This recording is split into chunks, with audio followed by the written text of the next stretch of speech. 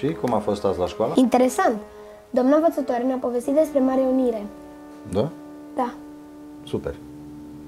Știi, în 1918, bunicul tău, bunicul tău, a fost împreună cu 130 de delegați la Marea Adunare Națională de la Alba Iulia. A mers atât de mult pe jos? Aveau trenuri pe vremea aia.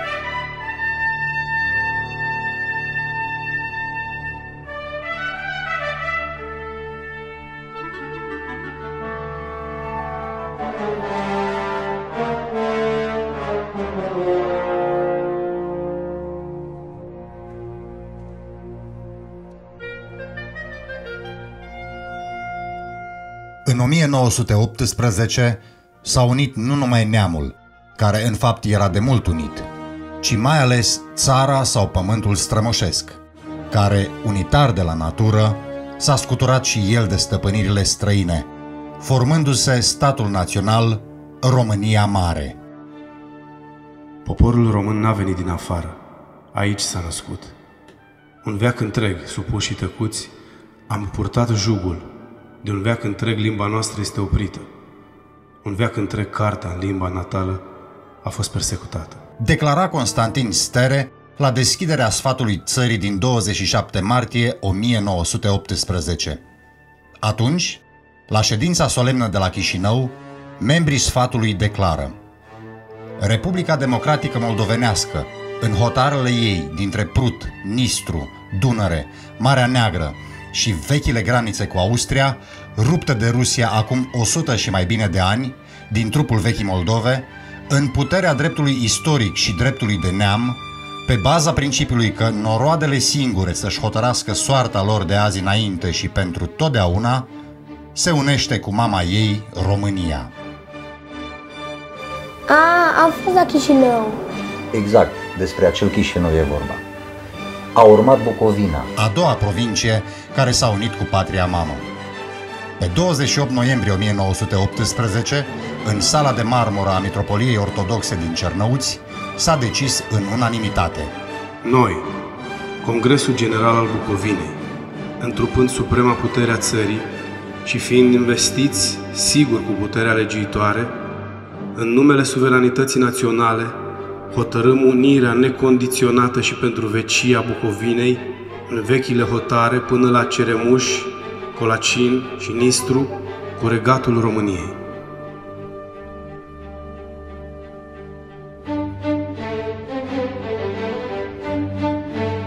Unirea cu Transilvania a fost momentul culminant al constituirii României Mari.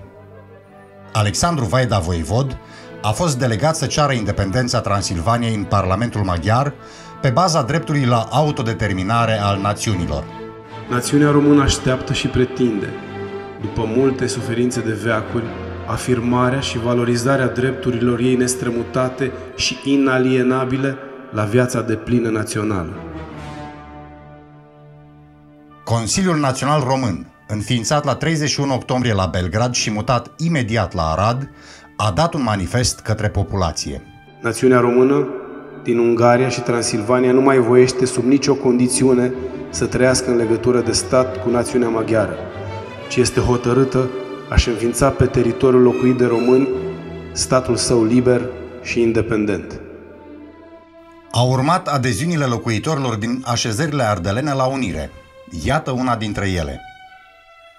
Adeziunea populației din Sibiu la hotărârea de unire a Transilvaniei, Banatului Crișanei și Maramureșului din 26 noiembrie. Adunarea de la Alba Iulia din 1 decembrie s-a desfășurat în cadre atât de impozante și de grandioase, cum puține poate să arete istoria popoarelor. Și erau mulți oameni? erau foarte mulți. Erau peste 100 de mii. În lungi trenuri au sosit tot sâmbătă sibienii și clujenii, cu jururile lor întregi.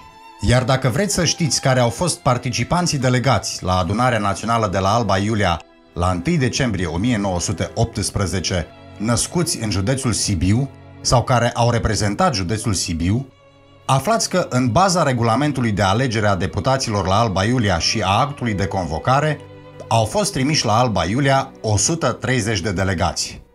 Erau ceasurile prânzului și convoiul strălucit nu se mai isprăvea. Părea că s-au ridicat și morții din morminte să vină la marea sărbătoare a unității noastre. Pe câmpul lui Horia, de lângă poarta cea mică, era un ocean de capete mii și mii și codri întregi de stindarde care îmbiau privitorului cea mai sublimă priveliște ce se poate închipui. Trebuie amintit și fotograful Samuel Mârză, singurul care a imortalizat acele momente istorice. Eu am venit de pe front cu câteva zile înainte de 1 decembrie și dimineața, cu sătenii mei, am plecat pe jos la Alba Iulia și bineînțeles că mi-am luat cu mine și aparatul de fotografiat.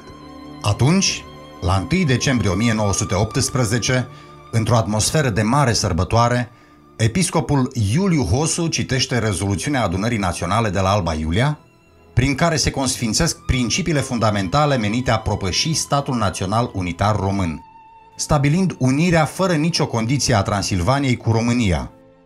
Tot acum, Gheorghe Pop de Băsești, președintele Marii Adunări Naționale de la Alba Iulia, citește proclamarea unirii tuturor românilor din Transilvania, Banat și părțile Ungariei.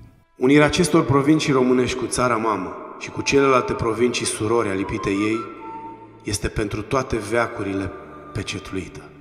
Două săptămâni mai târziu, delegația românilor transilvaneni a dus la București actul unirii Transilvaniei cu România. Vasile Goldiș, conducătorul delegației, episcopul Miron Cristea, episcopul Iuliu Hosu, Alexandru Vaida Voivod și Caius Bredicianu. Predând regelui Ferdinand rezoluția votată de Marea Adunare Națională de la Alba Iulia, Vasile Goldiș a spus Această unire este o pretensiune a istoriei, fiindcă neamul românesc, de la zămizlirea sa și până astăzi, a rămas unul și etnicește, posedând între aceleași margini geografice pământul Daciei lui Traian.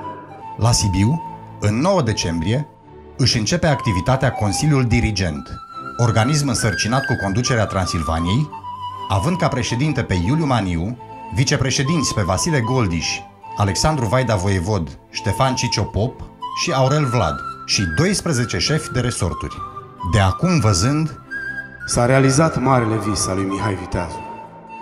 Unirea tuturor de o limbă și o lege într-un singur și nedespărțit stat numit România. fără a uita pe nimeni care a colaborat la această faptă a unirii, de la general și de la fruntaș ardelean până la ultimul ostaș și țăran, omagiul recunoștinței noastre să se îndrepte azi către poporul acesta întreg de oriunde și din toate viacurile, Martir și erou. Asta mi-a povestit mie bunicul. Abia aștept să mă duc mâine la școală să-i povestesc lui Ștefan.